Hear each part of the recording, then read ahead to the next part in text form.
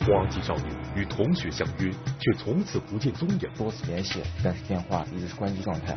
三日后，求救短信突至，母亲心急如焚。救我！我被骗到石河子吃卖了。刑警抽丝剥茧，发现十一名被拐少女，究竟是什么原因令他们成为作案目标？敬请收看本期《平安三六五》。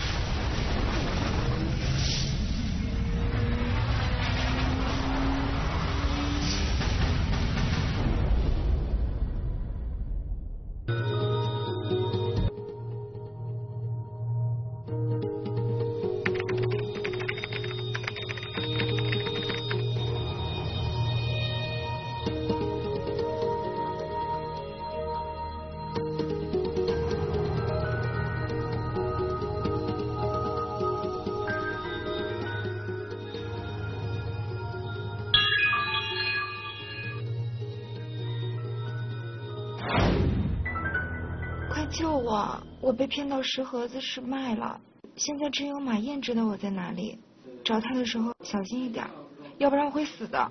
快让我妈妈报警！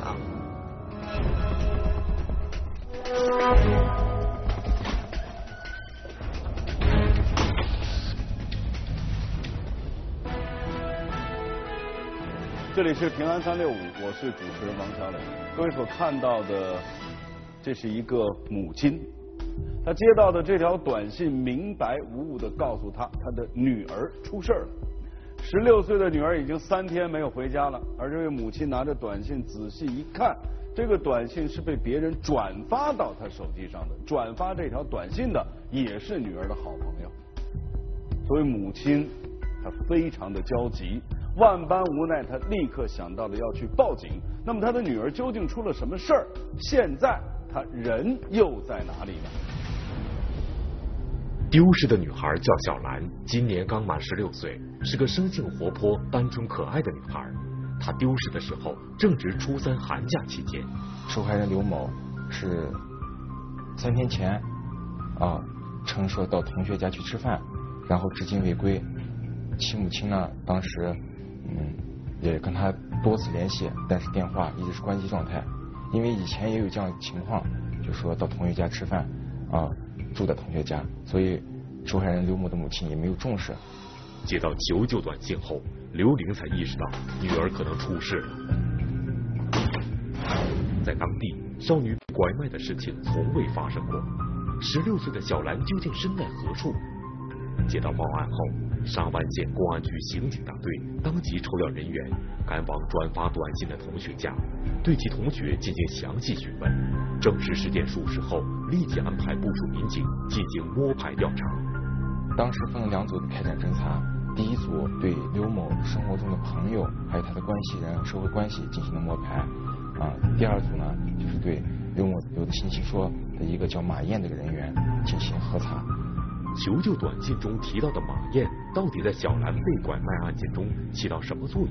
侦查员不敢随意下结论，所以没有轻易对马燕采取措施，只是对其周边相关人员及马燕的活动轨迹进行调查。发现这个叫马燕的，他呢是一个无业人员，也是一个辍学的青年，啊，经常。来回游走这个沙湾县到石河子两地。经过三天的调查，侦查员对马燕的各方面信息进行分析研判，结合小兰在求救信息中提到被卖往石河子时，种种迹象显示马燕有可疑之处，于是决定控制马燕实施突审。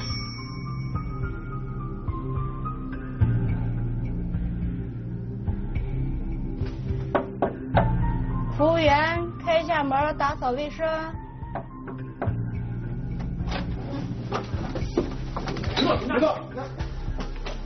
通过对马艳阳的呃审讯突破，我们得到一个重要线索，就是受害人刘某是被一个叫吴海明的男子控制了，他们的落脚点和经常居住的一个地方，就是石河子市一个叫新月华的别吧。小兰的去向有了眉目。办案民警特别兴奋，立即对新月华蝶吧进行全方位布控，并对蝶吧的进出人员进行跟踪调查。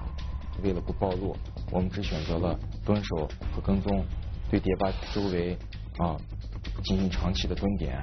就发现这个地方比较特殊，因为这里面进出的人员比较复杂，而且都是社会上的这样子比较社会化的一些人。侦查员分成几组，白天晚上进行蹲点守候。却迟迟不见嫌疑人吴海民和小兰的踪影。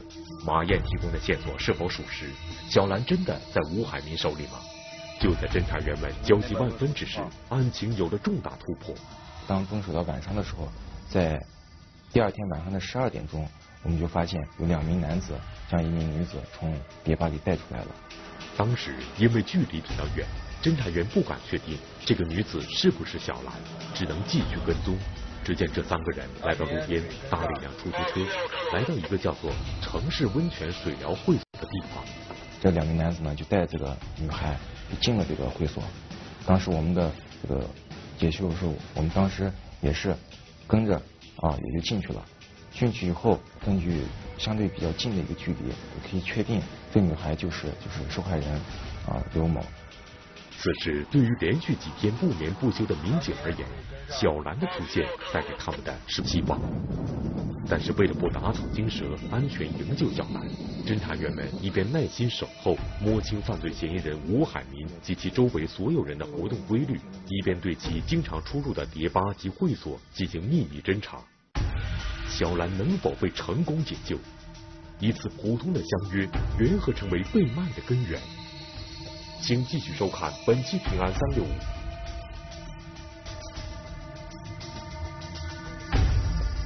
都可以往前进，速度速度，大家都速度。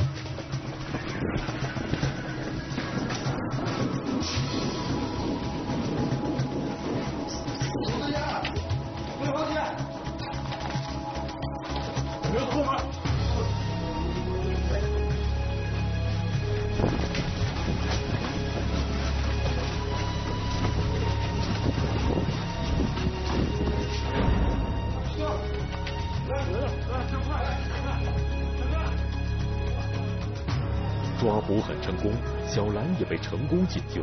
然而，让民警们没有想到的是，在温泉水疗会所当场抓获四名犯罪嫌疑人时，还有了意外的发现。当时在呃一个包厢里啊，当时就呃解救出了这个受害人刘某啊，和刘某在一起呢还有几名女子。通过询问啊，我们发现这些女子都是前期被拐骗来，后期被控制以后强迫。啊，其啊从事这个色情活动。警方发现被拐卖的女孩不止小兰一个人之后，对四名犯罪嫌疑人进行了突审，最终确认这是一个隐藏较深的恶势力团伙，拐卖女青年的同时还强奸、强迫卖淫，涉案人员多达二十余人。由于案情重大，沙湾县公安局党委立刻抽调精干警力，成立专案组，全力解救被拐卖人员。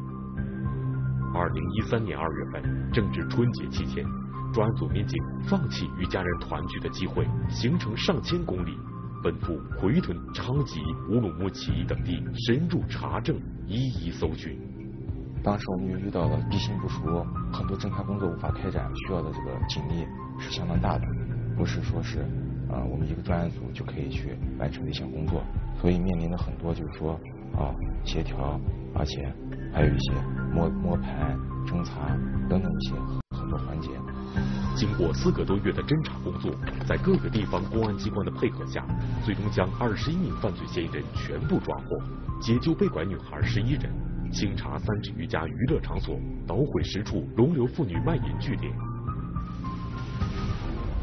这个犯罪团伙的组织结构和诈骗的方法已经渐渐的浮出了水面。那么他们究竟是用什么样的方法去拐骗这些无辜的女孩？吃了一顿饭，居然就成为了女孩悲剧的开始。在这些日子里，十六岁的女孩到底遭遇了什么？据受害人小兰描述，二零一一年一月二十日下午，她突然接到马燕的电话，相约见面。因为是许久未见的初中同学，再加上正值寒假期间闲来无事，小兰就欣然赴约了。他们先是吃饭，吃完饭以后喝点酒，之后呢，就将这个受害刘某呢带到这个新月华蝶吧。马燕以买碟片为借口，将小兰带至碟吧。没过一会儿，又假装接电话，独自离开了碟吧。紧接着，令小兰意想不到的事情发生了：两个陌生男人强行将他带到了迪吧地下室。受害刘某当时在地下室，哎，喊救命，喊什么都没有用。吴海民等人呢，就对其就是施施暴啊，殴打，对他进行殴打，将其的衣服啊扒光，并用手机拍了啊十多张裸照。完了以后实施强奸，呃，威胁恐吓，就是你如果是不听我的话，啊，不去到这服务，啊，我就把你的照片寄给你们家人，或者寄给你的亲戚，寄给你爷爷奶奶，让你没办法活人。在打骂声中，小兰慢慢得知自己被同学马燕卖了，被逼无奈，小兰只能听从安排，每天被带往不同的场所从事色情服务，遇到身体不舒服就被安排在网吧打发时间，并且时时有人看管。那么，在如此严密的监管之下，小兰又是如何发出求救信息的呢？最开始的受害人刘某呢，也想过要逃，但是一直有这个人看管，啊，手机呢也被收掉了。虽然身边一直有人盯着，但小兰却从来没有放弃希望，一直在寻找机会。就在她被控制的第三天。她被带到网吧上网时，看见一个女孩拿着手机准备上厕所，于是小兰假借上厕所的名义紧随其后寻求帮助，通过该女孩的手机发出了救命短信。一条求救短信意外牵出拐卖大案，究竟是什么原因致使花季少女成为作案目标？人们又该如何防患于未然？请继续收看本期《平安三六五》。女孩的坚持和机警，最终使她能够逃出来，而且他还救了其他十个和他有着相同命运的被拐骗的女孩。那么，在这个案件的背后，还需要我们来关注什么呢？接下来您会看到的是我们的记者采访犯罪嫌疑人的时候，他所说的一段话。也许这些话能够让我们明白，为什么有那么多的未成年少女会成为犯罪嫌疑人下手的对象。据民警介绍，被解救出来的另外十个女孩，最小的十五岁，最大的二十三岁，都是被朋友以各种理由骗出之后被拐卖的。那么是什么原因导致他们成为犯罪嫌疑人的作案目标呢？全是对自己的朋友介绍，就他们认识的都是从 KTV 啊刚不上学那种，因为他在社会上下不混，可能家里面人也不经常管，一般都是啥？我说是。他们觉得这丫头消失个三五天没有事儿了，就说他这丫头嘛，嗯，经常在外面玩，经常在外面玩，他们经常不回家，家里面也不会不会有什么样的动静。据犯罪嫌疑人交代，他们寻找作案目标时，首先是从熟悉的人入手，其次是看这个女孩几天不回家，家里面是否会有人在意。那么事实究竟是否如此？小兰被解救后没多久，他们母女就搬走了，没有人知道他们的去向。为了了解小兰的成长环境是怎样的，记者跟随民警找到了受害人小兰的邻居，了解情况。这个孩子从小啊五岁的时候，爸爸妈妈已经离婚了，他就跟他的母亲一块生活。他爸爸呢在外地，平时也管教很少。妈妈是做生意的，也平时照顾他也照顾的不是很多。邻居还告诉我们。至今令他印象深刻的是，小兰回来之后与以前判若两人，性情大变。这一点也在民警的口中得到了证实。回来以后的第二天，这小女孩是把头发本来是长发披肩的，最后把头发整个都自己剃光了。剃光完了以后，又穿衣服这一块也有变化，整个一身打扮就是看着是个小子，一个男孩打扮。我们不明原因就询问他为什么会变成这样，他一直沉默不语啊，不不敢抬头看面对我们。刘某的母亲呢就介绍，刘某呢就是因为这次打击对他特别大啊，他就说自己不想再当女孩了啊，要当一个男孩，让人感觉就是自己那种伤害啊，这些时候感觉是很深的，不是说从他这个人生今后的人生这个生活过程中能给他抹灭掉。十六岁，正是一个女孩子人生中最美好的季节，充满阳光，充满欢笑，充满各种色彩。可是小兰的遭遇会令她的世界变得没有了颜色。在这里，衷心的希望小兰能够尽早摆脱阴影，找到自我。那么，针对类似小兰这样的女孩，家长怎么做才能真正的帮助到她们？我们又该怎样避免这类悲剧的发生呢？呃，当前拐卖少女、强迫卖淫案件时有发生，人贩子往往采取交朋友、谈恋爱等方式打死受害人，以介绍工作、相约游玩等为借口啊，将其骗出后带到外界强迫卖淫，危害十分严重。家长应当关心爱护未成年少女。关注其行踪和交友的情况，教育未成年少女增强防拐意识，避免悲剧发生。单亲家庭和离异家庭啊，更应该注意这一点。对于解救出来的这些被拐的未成年少女啊，呃，家长和社会啊，都应该关心、关爱，要保护他们的隐私，呃，采取措施啊，帮助他们能够顺利回归社会。今天我们讲到的事件是少女的离奇失踪。其实这个故事更应该被形容为美丽的谎言或者邀约背后的陷阱。年轻人对世界充满着好奇心啊，他们很希望去尝试一些新奇的东西。可是在这背后呢，可能有一双不安分的眼睛在盯着他们。所以希望我们电视机前的家长朋友也能够多多了解类似的事件，给自己的孩子提个醒。休息一会儿，是我们今天的危机一刻。